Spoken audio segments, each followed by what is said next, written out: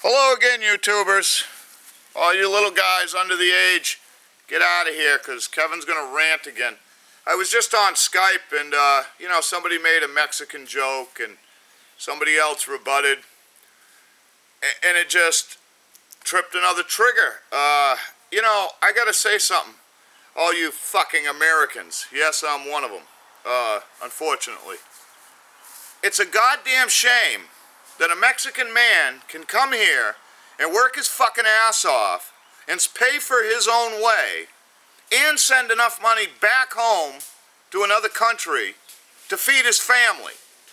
Now, the reason that we're being inundated with all these illegal aliens, as you want to call them, and, and is because you're fucking lazy.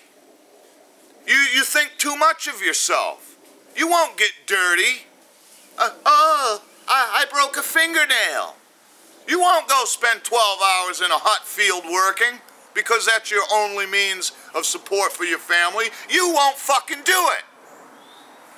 You $30 an hour guys, $50 an hour guys. Will you work tomorrow for 10 bucks just to make sure your family eats? Fuck no. You'll sit around on your asses, cry and whine, and expect the government to bail you out. Fuck you.